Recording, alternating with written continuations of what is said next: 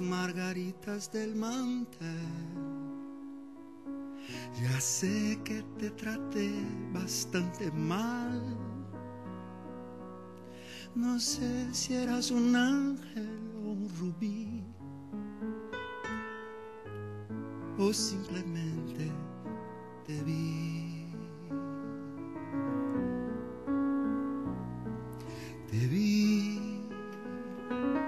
Saliste entre la gente a saludar. Los astros se rieron Muy fuerte, fundador de Teolab. Está hablando de computación cuántica. No le van a dar estos minutos que nos quedan para hablar, pero por lo menos contanos este cómo te sentiste. Sé que buscaste ejemplos para que le llegaran a todos y evidentemente vi que había público muy joven también. Evidentemente se entendió. Bueno, Buenas tardes, bienvenido. Buenas tardes para todos. Muchísimas gracias, Cris, como siempre, por, por darnos la, la oportunidad de compartir. Bueno, sí, ac- recién acabado de salir de dar la charla. Eh, muy contento. Eh, la verdad, computación cuántica es un tema muy novedoso este que, que, bueno, a mí me apasiona mu- mucho y, y nada, la idea que, que teníamos con Nicolás cuando estábamos charlando en esta charla es eh, hacer algo que, que fuera introductorio, que lo pudiera entender, que lo pudieran entender todos y que digamos que se quedaran con algunas ideas para poder profundizar este, después y poder seguir estudiando por su cuenta. El tema, el tema de Martín, específicamente, ¿m? aparte de esto que viene y que, y que bueno, con Nicolás se van empujando uno a uno a seguir con este tema, es la inteligencia artificial.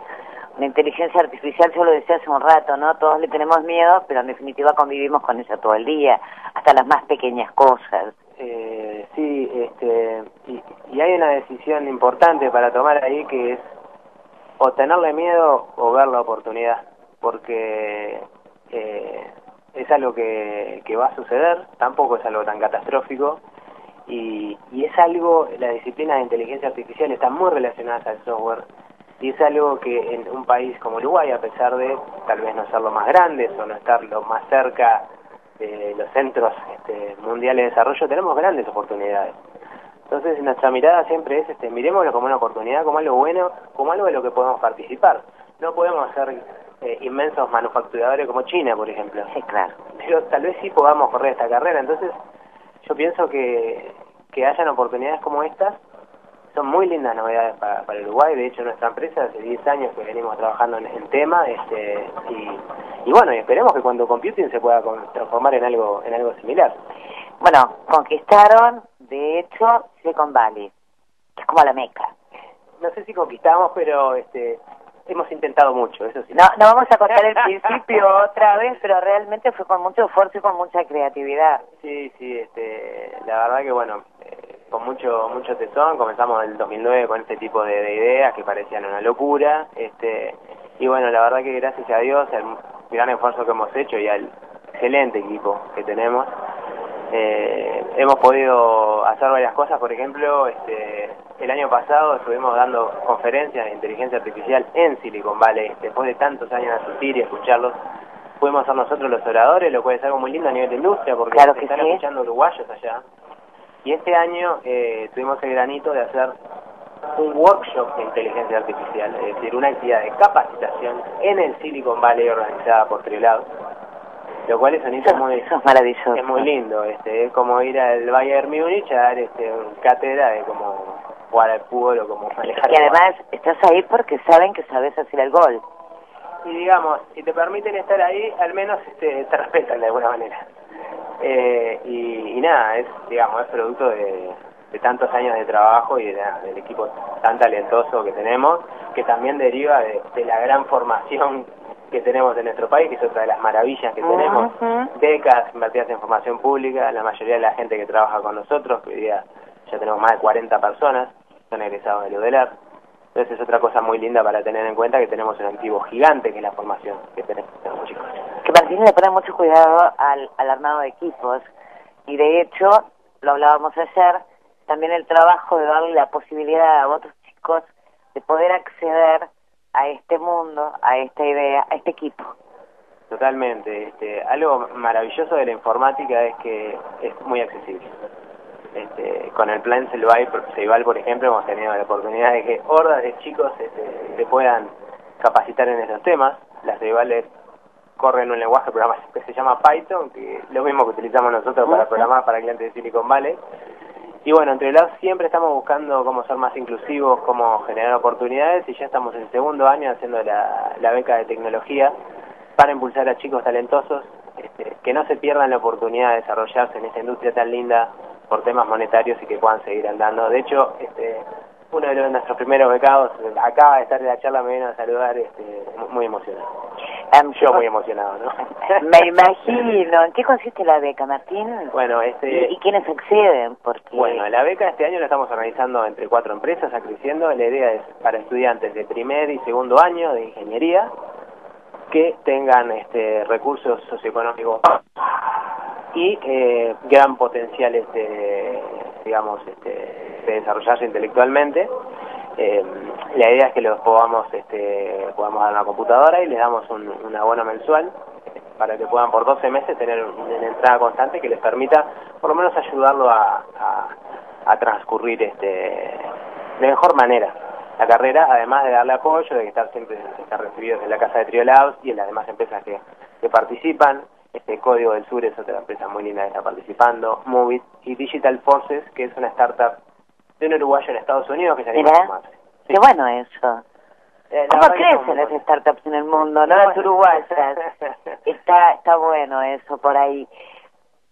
¿Qué, qué, qué te pasa a vos cuando ves? A, a mí me emociona mucho, ¿no? Pero vos lo mirás desde un lugar o lo tenés que mirar desde un lugar más técnico también, que te digan que chicos de tres años están programando con Ceibal. A mí realmente me, me parece maravilloso. Este, hay veces que, que Plan Ceibal es una iniciativa muy discutida. Eh, yo, por ejemplo, em, tuve la suerte de que mi familia me, me regaló mi primera computadora a los nueve años. Y bueno, y un poco jugando, este, mi abuelo me decía siempre, te la regalamos para que aprendas a jugar. Hoy día vivo esto. Eh, hay un poder muy grande de poder relacionarse con estas cosas a temprana edad. Este, los chicos vienen ya con otra... Yo tengo una nena de dos años que me agarra el celular, pone YouTube, hace cualquier cosa. Sí, claro, pone lo que quiere. El poder de poder relacionarte con este tipo de tecnologías a temprana edad y que cada uno lo lleve para lo que quiera. Algunos jugarán, otros chatearán, pero otros podrán este, entrar en contacto con la programación. Yo creo que lo importante es que la persona que tiene esa chispa, que tiene esa eh, esa iniciativa y ese gusto, que no se pierda de, de hacerlo, digamos, por no dar la oportunidad de acceso a una cosa. A mí me cambió la vida, por ejemplo. Se das cuenta que eh, hablamos de la posibilidad de Uruguay, ¿no? Ustedes fueron abriendo un camino, todos y cada uno, en la medida que iban queriendo hacer crecer su empresa, su emprendimiento, el saber, el buscar algo que fuera no individual de cada uno para plantearle al mundo, nos fueron abriendo un montón de posibilidades que hoy las estamos viendo en esta comunidad en estos días, en, en todo lo que va y viene. ¿Cuántas posibilidades más tiene Uruguay de crecer? ¿Cuántas ambiciones más podemos llegar a tener? ¿Y en qué plano nos podemos desarrollar? Bueno, yo tengo una visión muy particular de eso, que es extremadamente optimista. Y bueno, entonces Eh. juntate conmigo porque yo soy la mujer este, que tiene expectativas. Eh, miren, a ver, eh, la cantidad de revenue, es decir, de ingresos que genera Google, es mayor a todo el PBI uruguayo. No, el PBI uruguayo es 55 billones de dólares, Ajá. la última vez que lo conté. Este, y Google genera mucho más que eso. ¿A qué voy con esto? Tenemos una industria que potencialmente puede, puede cambiar el país. Eh, Samsung en Corea es más del 20% del PBI.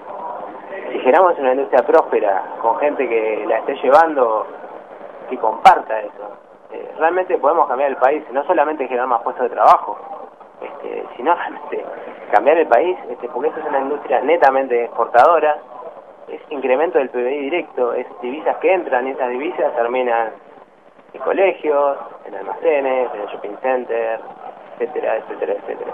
Entonces realmente este, yo humildemente creo que, que es una de las industrias que tiene el potencial de podemos cambiar el país. ¿Y nos falta algo más para que Eh, arranque? La verdad que está Más arrancando... allá de los esfuerzos individuales Eh, que hagan cada uno de ustedes o de los esfuerzos que hagan este con la cámara, con la CUTI, muy unidos y trabajando muy en conjunto para potenciar, pero más eh, factor. La verdad es que yo, de vuelta, mi mirada a veces es demasiado optimista o muy optimista. Yo creo que estamos haciendo grandes pasos en nuestro país. Este, tenemos la ANI, que es algo maravilloso. Nosotros, nosotros somos, digamos, beneficiarios de la ANI. Este, y la cuestión es que estamos haciendo cosas muy buenas, pero esto lleva tiempo. Silicon Valley no se construyó de No. Hay que seguir trabajando, la oportunidad está, este, y hay que, hay que seguir metiendo, hay que seguir apoyando al sector, que hoy día es muy apoyado, y lo que sí, padres, madres, tías, primos, abuelos, incentiven a sus niños a que se metan en informática. Hay desempleo cero, eso quiere decir que todo el que estudió esto está trabajando, y precisamos cada vez más y más y más gente.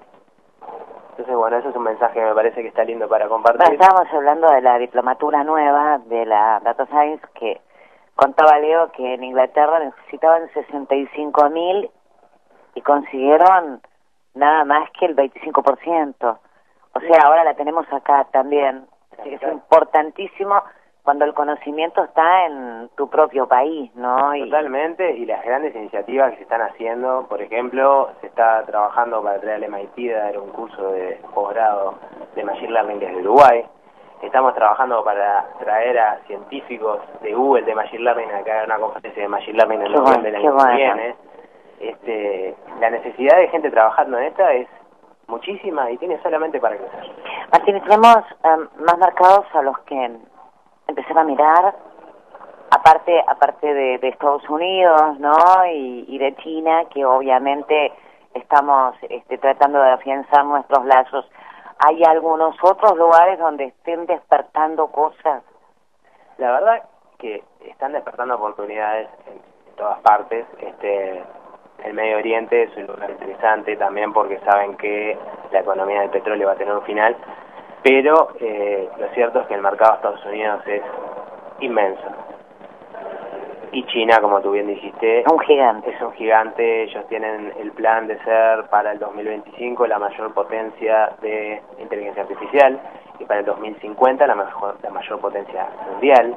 Ahora en la charla de computación cuántica este, estaba hablando que las computadoras cuánticas van a poder ser más poderosas que la computadora más poderosa del mundo y, y paro y hago una pregunta es ¿dónde está la computadora más poderosa del mundo hoy día?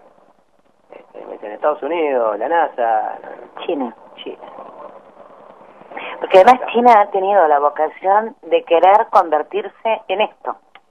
Más allá de O sea, vocación, han hecho un plan y ellos Ahí tienen está. un plan que es público, nosotros lo tenemos en la Cámara, que es cómo van a estar desarrollando su política de Estado de inteligencia artificial en los próximos 25 años. Me gustaría tenerlo acá. Con muchísimo gusto te lo enviamos. No, pero además la apuesta de decir, bueno, nosotros nos enfocamos a esto.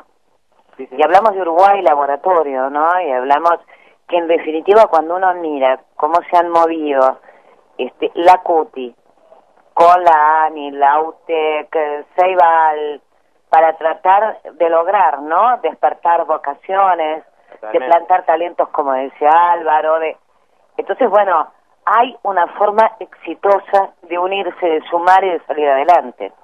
Sí, este, totalmente, qué, qué lindo que traes Álvaro a la conversación, es un gran impulsor de todo esto que todos queremos muchísimo, este, y todas estas organizaciones que han apoyado, las incubadoras también de Las negocios. incubadoras, no nos olvidemos está. ingenio que nosotros somos. Por favor, de Rafael que nos mata, porque Este, tiene mucho cariño. Y bueno, es, Orgullo tiene de ti, es mutuo, es mutuo, es mutuo. orgullo, pero está en esa forma de pensar, ¿no? Parece que está en la forma de pensar, en la unidad de los pensamientos Este, y en las potencialidades de, de cada uno. Eh, la verdad que la verdad que sí, miren, nosotros cuando arrancamos esto en el 2009 nos decíamos que estábamos locos, este y la verdad que es cuestión de planteárselo. Nosotros arrancamos nuestra empresa con 500 dólares. Mm. Yo nunca había viajado a Y Estados escribiendo Unidos. mail. Escribiendo mail, nunca había viajado a Estados Unidos. Yo le cuento a muchos chicos tu ejemplo.